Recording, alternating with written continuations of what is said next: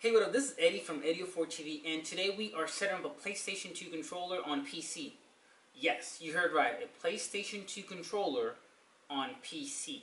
Now, for this setup, we just need a PlayStation 2 USB adapter and a PlayStation 2 or PlayStation 1 controller. You can check the links in the description below.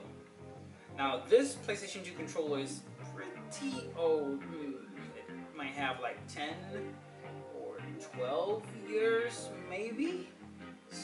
Uh, let's cross our fingers that this is gonna work. So to learn how to set up the PlayStation 2 controller, let's go to the computer. Okay, so you know how the deal is. Uh, I'm gonna go ahead and use my PlayStation 2 USB adapter. Just straightforward. Now, this one actually has two sockets or two ports, which means that this is gonna be automatically detected as a two controller setup. So it would think that it has two controllers, but it really doesn't. You know what I mean? Anyways, uh, and then I'm gonna go ahead and plug in my PlayStation 2 controller into that. Well, actually, this is a PlayStation 1 controller. I just want to make the emphasis that they work the same way, same uh, connector. So I am going to connect my PlayStation 2 controller there. Plug it in through USB, and you can obviously hear the beep. Now, as you know, I like to check to see if my devices have detected the controller correctly. So, okay, so it says a twin USB joystick. That is our adapter. As you know, I like to test the mouse. I'm going to do the game controller settings. Okay, so I'm going to test on the second one, and there we go. It is actually responding. Now, I don't know if you remember, but on PlayStation controllers, the analog stick wouldn't work unless you turn it on. So you press here, and now it responds. Okay, so we know that our controls are okay. Um, we can close this out. Now, I just want to point out that I stream on Twitch every Monday, Wednesday, and Friday. You can check me out at twitch.tv slash Eddy04TV. Okay, so as you know, we like to test uh, things out. So I'm just going to go ahead and try and run the game to see if it actually works.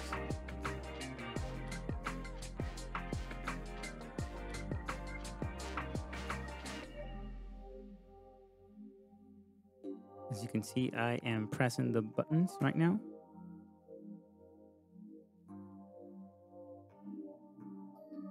Now response, okay. So I'm closing the game right now. And as you know, what we like to do is actually come here, right click and go to browse local files.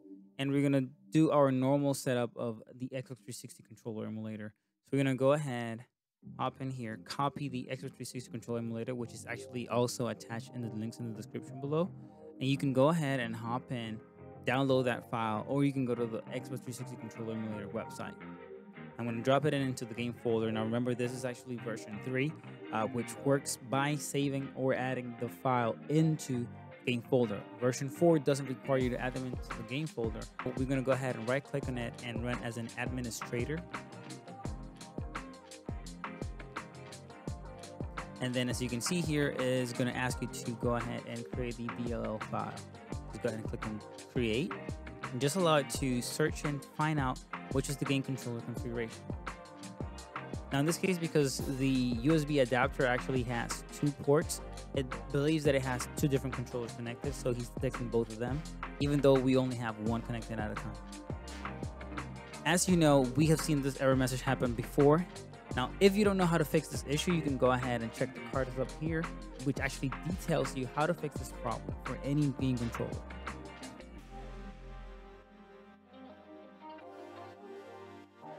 Now we're going to go ahead and configure um, our PlayStation 2 controller so that we can make sure that all the inputs are correct.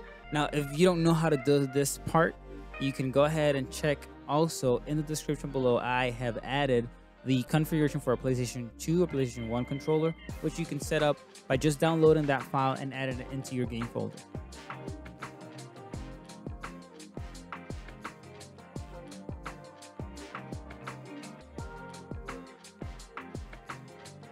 Okay, so now that we have configured our PlayStation controller into the Xbox 360 controller emulator, you can go ahead and hit save. And that's about it. But now remember that this is trial and error. You need to change the X input DLL file for it to actually work correctly into your game folder. Now, in this case, because I've done this multiple times, I already know that the file you want to use or the name that you want to use is actually x input 9 underscore 1 underscore 0. So I'm going to go ahead and close the X360 control emulator. Go ahead and right click on the DLL file, rename it, and I'm going to go ahead and type in 9 underscore 1 underscore 0. I'm going to go ahead and save that. I'm going to make sure to run my X360 controller emulator once again just to verify that my configuration is actually saved and it tells me what kind of input I am using at the right corner. So as you can see here in the bottom right, it says X input 9 underscore 1 underscore 0 DLL, which means that he already configured or took in the DLL name that I changed, plus it actually took in also the configuration that I have saved. By the way, please let me know in the comments below which other controller you would like me to crack down to set up on PC. And now that we have closed our controller emulator, now we're gonna run the game once again.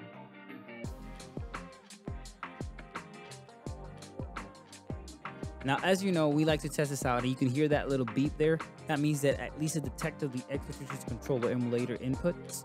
So from here on, as you know, I like to test this out by just doing a button press, and I should be able to skip the intro.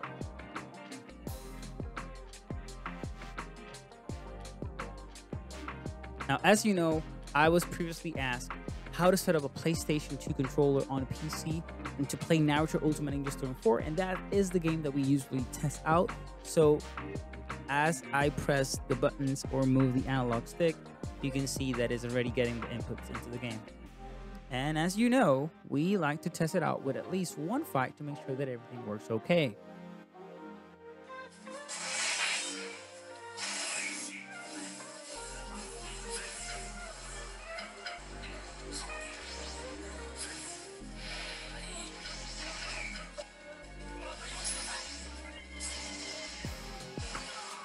Oh, ho, ho.